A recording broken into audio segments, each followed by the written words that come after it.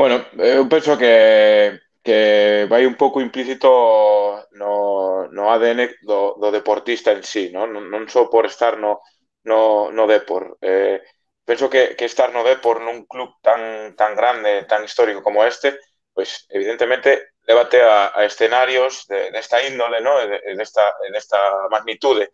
Que pasa? Que hai que entendelo ben, non hai que, hai que entendelo como, como algo eh, que te ten que xerar eh, escenarios e que te ten que levar a lugares positivos e non negativos. Ben, perdemos, eh, eh, tivemos, eh, moi, tem, temos moitas cousas que mellorar con respecto al Corcón, temos que traballar sobre cousas que non fixemos eh, eh, del, todo ben, eh, del todo ben en Alcorcón, pero eh, seguimos sendo os mesmos que gañamos tres partidos seguidos fai eh, catro semanas. Por lo tanto, a lente con, co, coa que hai que ler esta situación ten que ser adecuada. No, no, no, penso que é negativo entrar no catastrofismo e no pesimismo excesivo, posto que eso podete bloquear, podete levar a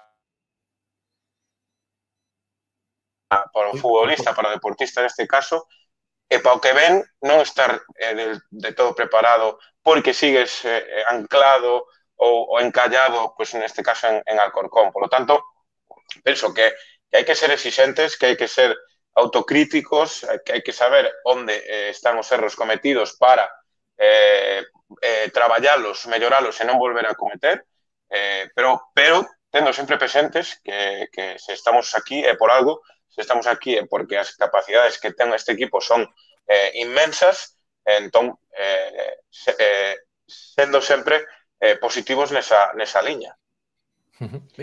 Bueno, pues mira, yo, eh, yo te voy a ser totalmente sincero. Yo creo que el vestuario está, eh, está concienciado de eh, corregir los errores que se que produjeron en Alcorcón, pero al mismo tiempo eh, está confiado en que las capacidades, el nivel de toda la plantilla está ahí. Lo han, lo han demostrado con creces en, en, partidos anteriores, en temporadas anteriores. Por lo tanto, tiene ganas de poder eh, volver a eh, encontrarse con una situación competitiva, pues este sábado, que es la más próxima, para poder resarcirse de, de, esas cosas pues, que no se han hecho del todo bien en, Alcorcón. Y con respecto a mí, pues es un poco en la línea del equipo. Al final, eh, el, sentir, el sentir individual eh, creo que está bastante, eh, tiene que estar bastante relacionado con el sentir colectivo, ya que pues, se trata de un deporte eh, en el que juegan 11, más los, los, compañeros que entran, a los compañeros que no entran que también juegan su partido, es decir, es un, un deporte grupal, un deporte de equipo, por lo tanto la sensación colectiva eh, muchas veces está eh, entrelazada con la, con la sensación eh, individual, ¿no? Entonces, un poquito en, en esa línea, con ganas de, de, de, de, poder preparar bien el partido del sábado y el sábado pues afrontarlo con, con las mayores eh, garantías. Bueno, lo cierto es que eh, en la jugada pues, se aprecia como que no, no, es, no estaba del todo claro que el árbitro fuese a, a sacar la tarjeta roja.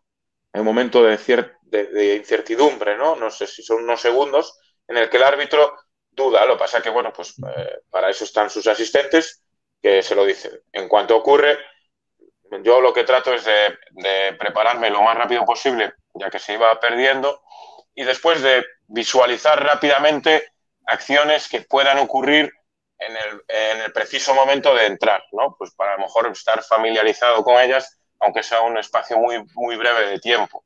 Era una falta, en este caso de, de Javi, eh, tener claro lo que iba a hacer, eh, tener claro cuál era mi cometido en ese momento y posteriormente a eso, pues eh, de la manera eh, que, se, que se vaya pudiendo y que te vaya permitiendo el juego, pues ir encontrando tus, tus sensaciones, pues, pues sensaciones con las manos y sensaciones con, con los pies. Sí, siempre partiendo de la base que cada vez que hacen gol, salvo poquitas excepciones, siempre hay cosas que corregir. Eso es, eso es una obviedad, pero no solo en Edu, eh, sino, si me apuras, en cualquier, en cualquier otro portero, en cualquier otro defensor, en cualquier otra posición del campo, probablemente haya cosas que se puedan hacer mejor de las que lo hiciste en ese momento. Y este no es un caso diferente. Por supuesto que se podía haber hecho algo mejor o algo diferente. Em, creo que eh, yo me remonto un poco a la, sensación que tenía en el, en el, terreno de juego con respecto a los, los dos jugadores que más intervienen en el gol, que es, no es eh, Dalmao y el, y el, otro es, es Berto. Yo tengo la sensación de que ellos fueron cambio en el, en el, en el partido, durante el partido, y, tenía la sensación desde que entraron, lo que me estaban transmitiendo es que eh, querían, de alguna manera, entre comillas, y, que, se entienda bien, reivindicarse. No demostrar nada, pero sí reivindicarse. Por lo tanto, al ser dos jugadores de ataque, yo pienso o pensaba que eh, a la mínima que tuviesen iban a intentar eh, pues, ver portería. En este caso, el pase que hay desde la banda hacia el área lo controla Dalmau y se dispone a, chutar. Lo que pasa es que el control no le sale como él pretendía, entonces tiene, solo le da tiempo a amagar el disparo. Yo para ese disparo me preparo, me, activo, eh, pero él cede el balón a, a, Berto, que es el que remata de primera. Entonces, en ese, en ese periodo cortito de tiempo, cuando él eh, hace el pase, yo tengo que moverme ligeramente hacia el lado contrario para poder ver el balón. Entonces, ese, ese instante, ese momento que, que yo me, me, me, me, dejo, me dejo eh, caer mi peso hacia el otro lado, es el que, el que pierdo y luego no me da posibilidad a, a poder llegar a, al palo, que es al final donde da, donde da el balón y luego entra, ¿no?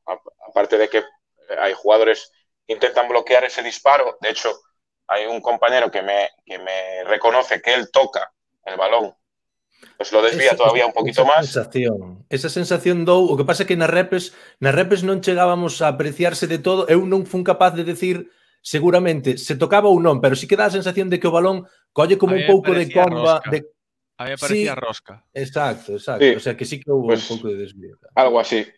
Y eso es, y eso es lo que y eso es lo que yo analicé de, o sea, lo que junto con el entrenador de porteros, con los y con mis otros dos compañeros, Pablo y, y, y Maca, fue lo que analizamos de, del gol.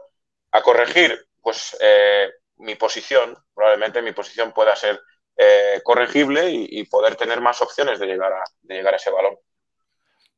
Sí, lo cierto es que no, no me había pasado, no me había pasado antes. Y te digo la verdad, aún lo, lo intercambiábamos eh, Maca y yo, el, no sé si era el, el, domingo justo después del partido o, o ayer. tampoco le había ocurrido a él, tampoco le, le, había ocurrido a él el tener pues que abandonar un partido pues por, por, por una lesión o por una expulsión. Eh, o sea, por lo tanto, yo creo que en, los dos, en los dos casos, tanto por mi parte como por la de él, está siendo algo, eh, una situación nueva, una experiencia, una experiencia nueva. Él pues no tenía que haber dejado el campo de esta manera y yo tampoco tenía que haber entrado por, por este tipo de, de, circunstancias. Sí que es un poco nuevo para nosotros.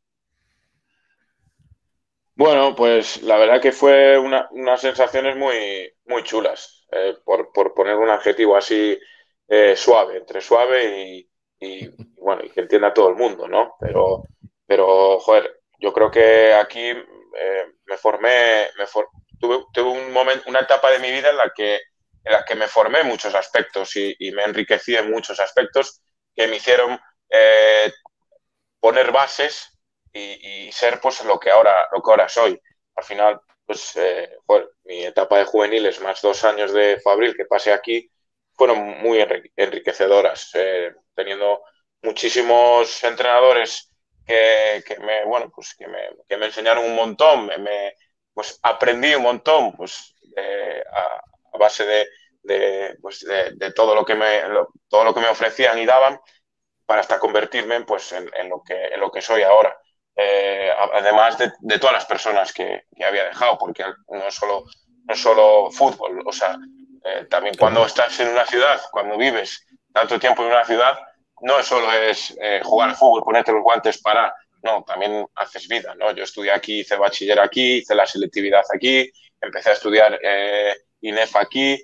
Entonces, eh, imaginaos la cantidad de personas que se pudieron haber cruzado en mi vida durante esa etapa y la cantidad de personas pues que me he guardado en el bolsillo durante esa etapa y que ahora lo he abierto al volver y siguen estando ahí. Imagínate lo, lo, lo bonito y volviendo un poco al principio, lo chulo que, que, puede ser eso, ¿no? Y al final, pues, pues no, te lo, no te lo puedo describir de otra manera. Está siendo pues una, una situación, está siendo eh, un año, pues para mí personalmente, eh, en ese sentido, muy, muy bonito.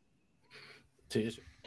Bueno, yo la verdad es que con la, que con la, gente que más contacto tenía y, y guardaba o, o, más relación generé durante esa, esa, primera etapa sigue estando, ¿no? Porque, bueno, pues eh, Fran eh, sigue estando, eh, está Javi, los Javi, los utilleros, Suso, bueno, luego hay muchos compañeros con los que ya había compartido vestuario y vivencias, pues Dani, que había sido compañero mío de equipo, ahora es, es, es el fisio, uno de los fisios de, del mismo. Eh, entonces, bueno, eh, sí que me encuentro un poco, pues eh, es como tener la sensación de llegar a, a, puerto conocido, ¿no? Llegar a, claro. a, sitio conocido y cuando te vuelves a meter ahí dentro, pues vives un montón de, de yabús, ¿no? Por, por, por, decirlo de alguna manera. Coño, esto, esto era así. Evidentemente, ciertas partes de la instalación cambiaron porque se han mejorado, se ha dado una vuelta, pero eso es un poco que es ley, de, ley de vida. Pero, sí. pero sí, la verdad que me encontré con, con, eh, mucha, con, con, cosas muy, muy familiares. Como unha burbuja, ¿no? Como se nada, como se non pasara o tempo aquí, ¿no? De volvo, sí. Ah, eso, eso Exacto. Cousas que, que enseñarche antes, non, Víctor? Aí hai unha, unha foto que queres enseñar a Edu. A, yo, ver, a ver. Yo hablé ayer con uno de tus compañeros, seguramente sepas sí quién y me dijo, es, me dijo directamente, enséñale esto. Yo no me hago responsable, ¿vale? Luego te digo quién es, porque creo que vas a saber quién es, pero me dijo, enséñale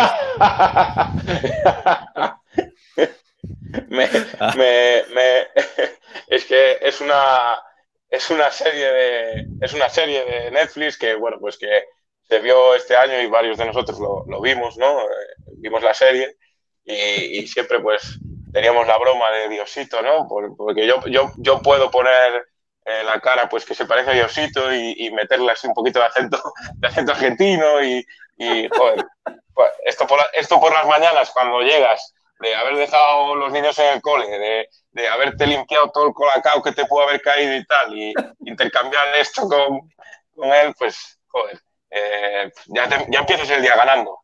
El día, el día ya lo empiezas ganando. Entonces, pues, pues claro, ¿cómo va a quedar para siempre esto? Aparte ahora con el pelo, con el pelo así los dos, pues imagínate. imagínate. Pero, pero es, contanos aquí, porque Víctor e eu estamos fuerísima. Eh, quen é? Quen é o, quen é o chaval este? ¿Es de el, el, de la imagen, el de la imagen sí. o, el, o el, pues no, este no. es Diosito. Este se llama Diosito. Diosito es. Eh, uno de los sí, le llaman Diosito en la serie, es uno de los protagonistas de, de la serie El Marginal, que está en Netflix y bueno, es, es de una, es una trama carcelaria, ¿no? Que en, uh. en Argentina y, y, imagínate, pues. Ah, pues, pues, pues lo, lo pasa, a, ra, a, raíz de esto lo pasamos, pasamos momentos muy, muy top, como se dice ahora. Muy, muy top. hay, hay, que, hay que apuntar, apunta ahí, Víctor, apunta aí a, a, el marginal para pa ver. Estaba, estaba en esa xa lle deixaremos recado que non houbo que non houbo problema. Pois